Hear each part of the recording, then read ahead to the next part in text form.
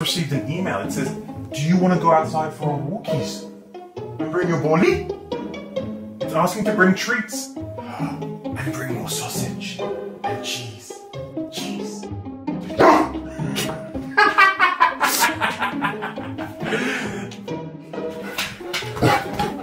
then it says, you want to meet your girlfriend?